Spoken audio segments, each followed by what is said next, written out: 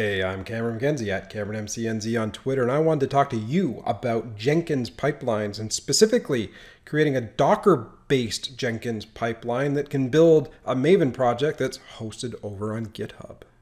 I want to demonstrate to you the power of Jenkins and Docker as they're brought together as I compile and build this Maven-based application that I've got over on GitHub. As you can see, there's a variety of Java files here. And if I look at the root of this project, you can see the pom.xml file, which proves that this is indeed a Maven file. And I want to build this Maven file. Now, here's the problem. This is my local machine. I don't have Maven installed. I don't have Gradle installed, and I don't have Ant installed either. I do have Docker installed, Docker version 19.03, and with Docker, well, that's all I really need. You see, there's a, a special Maven Docker image. This is it up over on Docker Hub, and I'm going to pull version 3.3.3 of this Docker image inside of a Jenkins pipeline and use it to build my Java application. So how do I do that? Well, I click the new button and I say I'm going to create a brand new pipeline. What am I going to call that pipeline? I'm going to call it the Jenkins Docker Maven GitHub example. It's a long name, but it'll do. I'll click OK. And then when this comes up, I'm going to scroll right down to that pipeline section, and I'm going to paste in a pre-configured Jenkins pipeline that I've already built.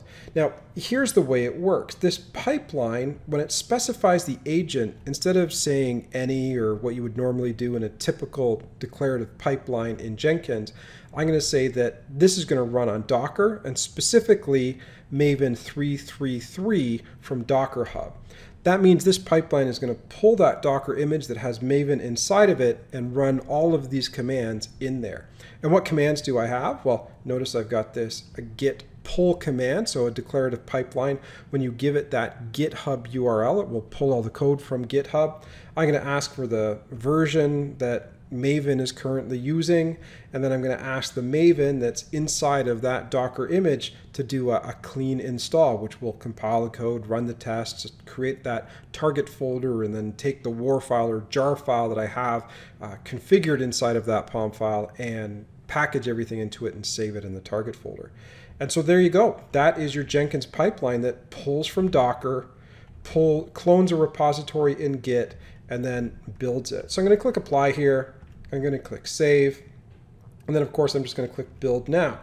It will take a moment to build. And uh, of course it's got to go to Docker, it's got to pull that image and then it's got to run the clone and all of the associated commands.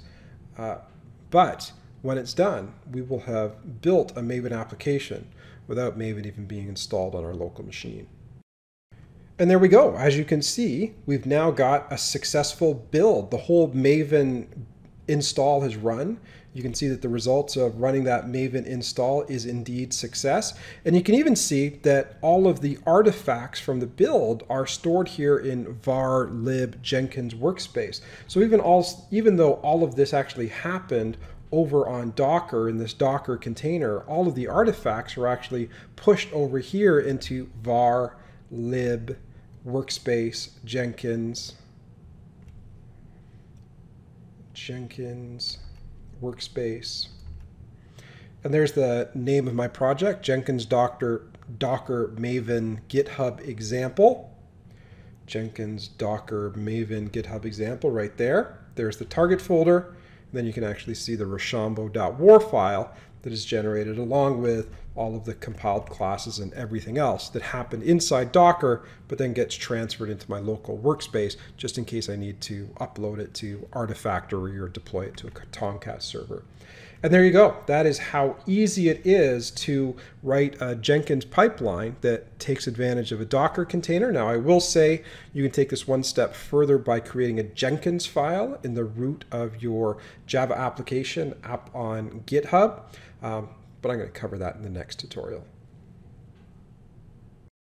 And there you go. That's how easy it is to create a Jenkins pipeline that can build Maven projects that are hosted on GitHub on Docker. Now, if you enjoyed that tutorial, why don't you head over to the serverside.com. I'm the editor in chief over there, and we've got lots of great tutorials on Jenkins, Docker, Maven, anything that has to do with enterprise software development for that matter.